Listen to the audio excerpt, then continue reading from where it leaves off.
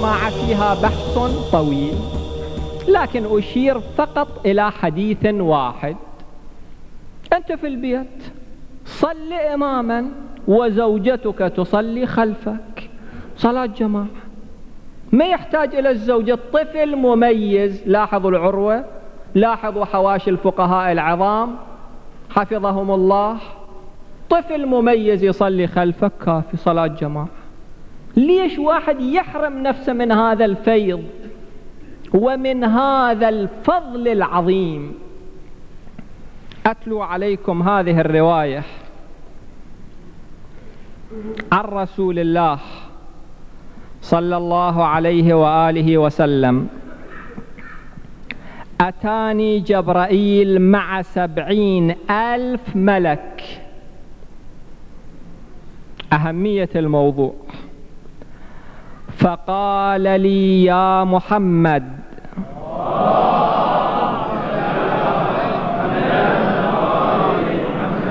إن ربك يقرئك السلام وأهدى إليك هديتين. قلت ما تلك الهديتان؟ قال لي الوتر ثلاث ركعات. صلاة الشفع ركعتين. وصلاة الوتر ركعة واحدة حتى إذا واحد ما يحب يصلي صلاة الليل كلها على الأقل يصلي هذه الثلاثة. والصلاة الخمس في جماعة. قلت يا جبرائيل ما لأمتي في الجماعة؟ فقال جبرائيل يا محمد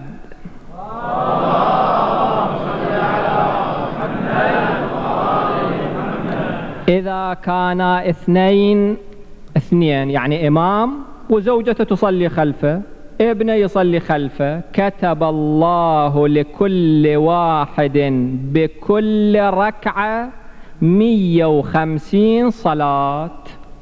مو بكل صلاة بكل ركعة تكتب مية وخمسين صلاة. وإذا كانوا ثلاثة كتب الله لكل واحد بكل ركعة ستمائة صلاة. وإذا كانوا أربعة كتب الله لكل واحد ألف ومائتي صلاة. وإذا كانوا خمسة كتب الله لكل واحد بكل ركعة ألفين وأربعمائة صلاة. وإذا كانوا ستة كتب الله لكل واحد منهم بكل ركعة أربعة آلاف وثمانمائة صلاة.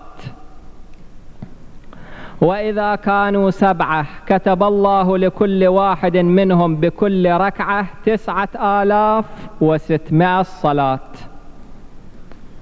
وإذا كانوا ثمانية كتب الله لكل واحد منهم بكل ركعة تسعة عشر ألف ومئتين صلاة.